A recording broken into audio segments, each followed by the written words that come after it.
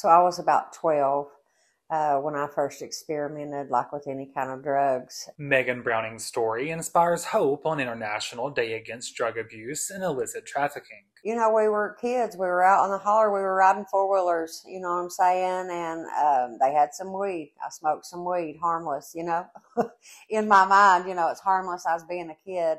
After that day, Browning's life was consumed by a relentless grip of addiction for nearly two decades. I liked the way those drugs made me feel and I used it to escape myself.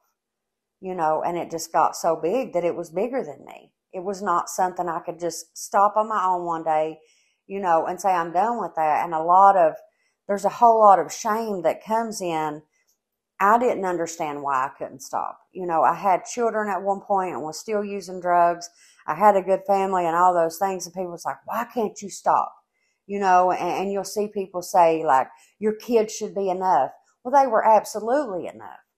You know what I'm saying? For me, but the disease I have is more powerful than me.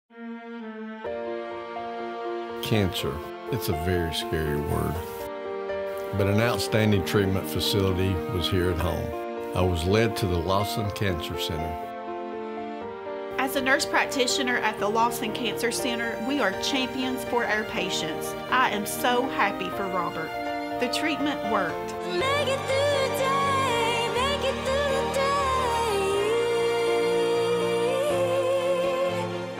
Determined to reclaim her life and break free from the chains of addiction, Meghan sought professional help and committed herself to a road of recovery. I got clean at around age 30 and um, so I started working on getting my kids back in my life and building a stable life for them. Um, I, it was the first time I had ever been like independent and on my own. So like I started out being a single parent, just trying to like navigate life. And so I ended up going back to school. I had no huge high hopes of all these things I wanted to do. That kind of just progressed as life took on. Um, but I was able, man, like being clean to like um, have my kids in my home, provide for them, go back to school, um, graduate with a master's degree. Uh, I'll be able to take my last independent licensure test, hopefully in the next couple of months. If I pass, it's the last test I'll ever have to take. Having been clean for over six years, she has harnessed her personal experiences to help others battling addiction. Like recovery's given me the ability to be a mom, to be a good wife, to be a good family member, and I'm not like that constant um, worry or stress on my family anymore. You know, I can show up and uh, be an asset to my family, be an asset to my community, be an asset in my own home.